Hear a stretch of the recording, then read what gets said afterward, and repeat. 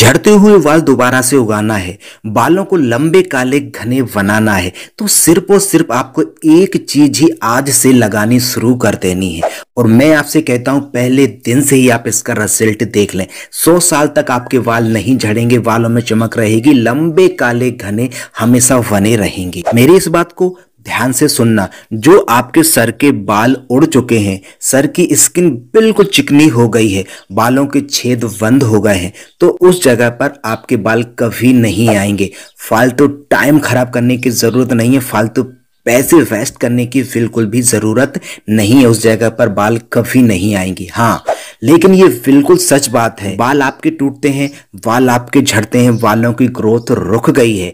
तो इस चीज़ से, बालों में लगाने से पहले दिन से ही आप इसका रिज़ल्ट देख लें, पहले दिन से ही अपना असर दिखाना शुरू कर देती है यह चीज़। तो फिर जल्दी से वीडियो को लाइक कर दें, तुरंत ही वीडियो को लाइक कर दो और चैनल पर यदि आप नए हैं सब्सक्राइब नहीं किया है तो चैनल को सब्सक्राइब ज़रूर कर लेना। साठ सत्तर साल नहीं, चार सौ, पाँच सौ साल पुराना मैं आपको एक राज बताने वाला हूँ। जो पहले पुरुष और महिलाएँ उस चीज़ को अपने बालों में लगाती हैं। बस एक ही चीज़ वो अपने बालों में लगाती थी, जिससे उनके बालों की ग्रोथ हमेशा होती रहती थी।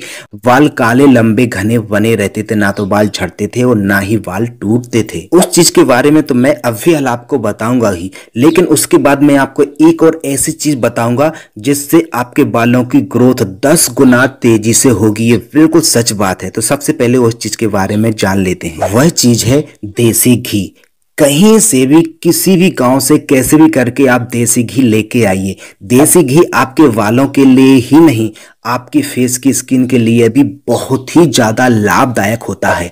देसी घी में बहुत सारे पोषक तत्व होते हैं जो आपके बालों की ग्रोथ करने में, बाल यदि टूटते हैं, झड़ते हैं, बालों को दोबारा उगाने में देसी घी सबसे असरदार ऐसी नेचुरल चीज़ है जो आपको पहले दिन से ही असर दिखाना शुरू कर देती है। दिन में एक बार दो बार जब भी आपको टाइम मिले थोड़ा सा देसी घी लेना, बालों की जड़ों में लगाना, बालों की पूरी लेंथ में लगाना, सब जगह बालों में लगा के हल्की सी मसाज करते हुए आपको अपने बालों में लगा लेना चाहिए। और यदि आप रात में लगाते हैं तो घी को थोड़ा सा गुनगुना कर लेना है, फिर आपको अपने बालों में लगा के मसाज करनी चाहिए। और यदि आप इस दूसरी चीज़ को आप अपने बालों में लगाते हैं तो बालों की ग्रोथ बहुत तेज़ी से होगी और शैम्पू के एक घंटे पहले या फिर तीस मिनट पहले आपको इस चीज़ को अपने बालों में लगाना है। आपको घी घी लेना है, जितना आपने घी लिया है। उससे डबल मात्रा में आपको एलोवेरा जेल उसमें मिक्स करनी है। यदि आपके घर में गमला है एलोवेरा जेल का तो उसकी ताज़ा एलोवेरा जेल निकालने तो वो सबसे बेस्ट रहेगी। डबल मात्रा में आपको लेना है। पूरे वालों में अच्छी तरह से इसको लगा के रखिए और फिर जितना आपके पास टाइम है, आधा घंटा या एक घंटा, आप अपने बालों में इसको लगा के रखें।